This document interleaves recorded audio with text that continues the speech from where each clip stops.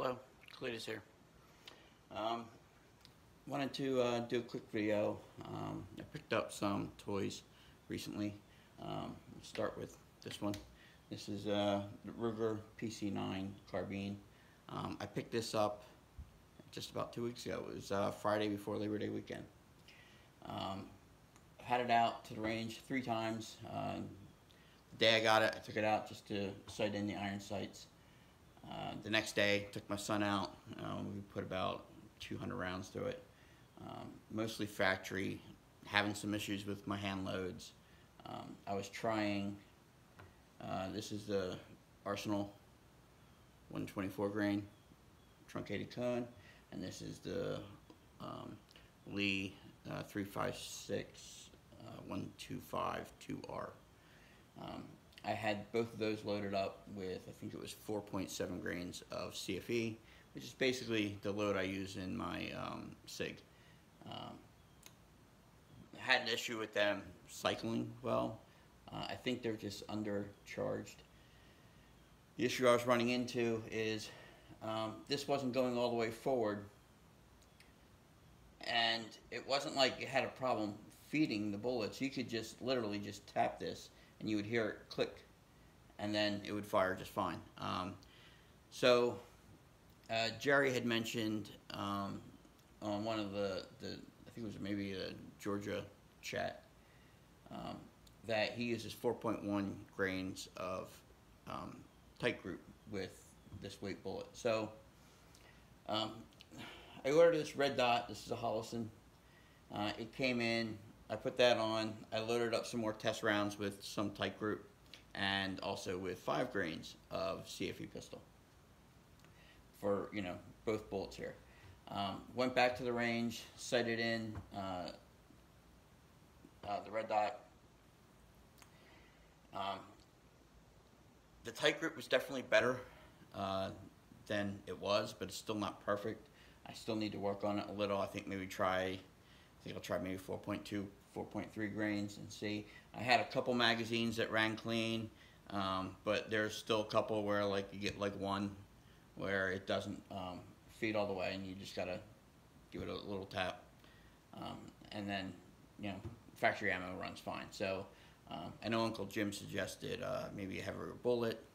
I don't really have a heavier bullet um, in 9 unless I want to try that, you know, 155 grain arsenal bullet that I use for uh, 38. So um, anyway, I'll still work on that and see what I come up with. Um, either I'll try different powder charge or maybe try seating them just a little deeper, um, create a little bit more pressure, um, or I might pick up some, you know, Acme 147 grain just to see how they run, and you know if they work, I'll look for a mold or something. Um, I think Accurate has one, and MP has one that I like. Um, so we'll see. Um, next little item I picked up is something I've wanted for a while, just never owned, but a pair of um, dial calipers. This is the Mitutoyo, I think that's how you pronounce it. But um, always figured having something that doesn't require batteries um, good idea. And the ones that I had, the cheap ones with the battery, get really flaky. Um, they lose zero a lot. They're, they're frustrating me to no end.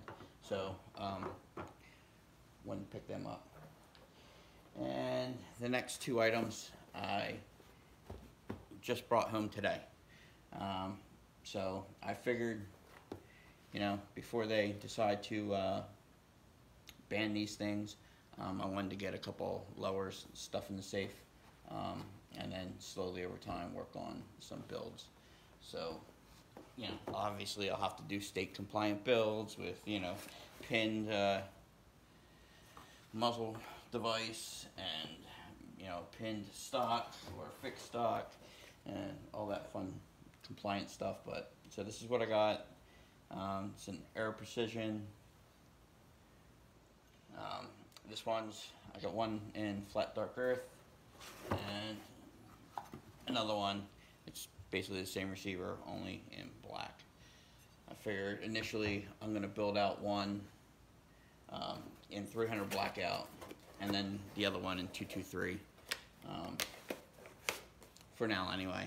Um, and then maybe play around with uh, swapping out barrels and uh, who knows, maybe 350 Legend or, or something down the road. Um, but initially, it's just going to be um, the 223 and 300 blackout since um, you know I have bolt guns in those calibers. I already have everything for loading for those. Um, so um, also, good news on the Walther. Um, well, hopefully good news on the Walther. I shipped that out last Friday. I, I called Walther, uh, was on the phone with him for a couple minutes, explained the problem.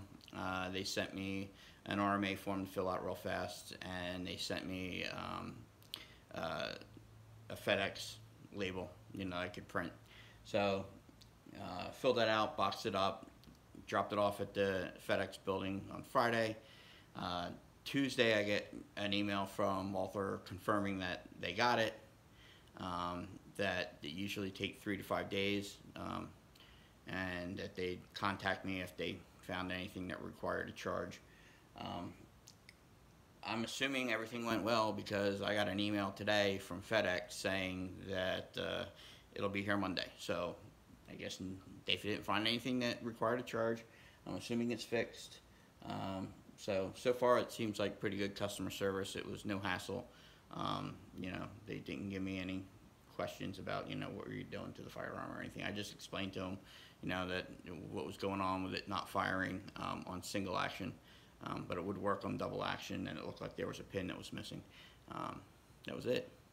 So uh, seemed like pretty good customer service. So hopefully that comes back Monday, and you know I like to try um, casting it again to see if uh, you know if it, that one problem was causing both issues. You know, was it just the firing issue, or was it also causing the issue that I was seeing with feeding the uh, the lead bullets and having them get chewed up, um, as you know, as they were being fed.